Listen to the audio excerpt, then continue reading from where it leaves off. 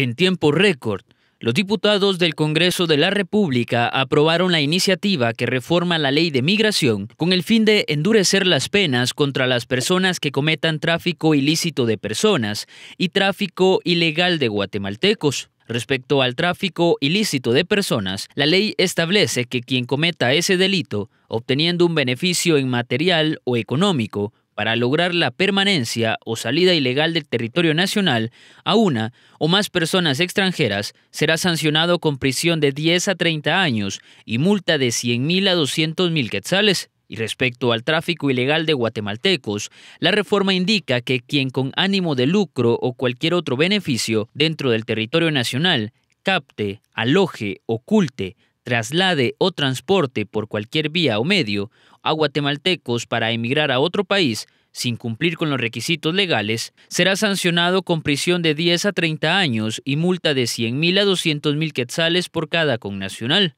Las penas aumentarán en dos terceras partes cuando el migrante sea menor de edad, se trate de una embarazada, el autor del delito sea un funcionario, cuando el delito se lleve a cabo por un grupo de tres o más personas y cuando el migrante sufra tratos crueles, inhumanos o degradantes. Esta iniciativa de ley, a diferencia de otras que pasan varios años sin ser conocidas, avanzó rápidamente. El pasado 14 de enero fue presentada por el presidente Alejandro Yamatei, fue leída en el Pleno el 19 de enero y este 1 de febrero finalmente fue aprobada para convertirse en ley.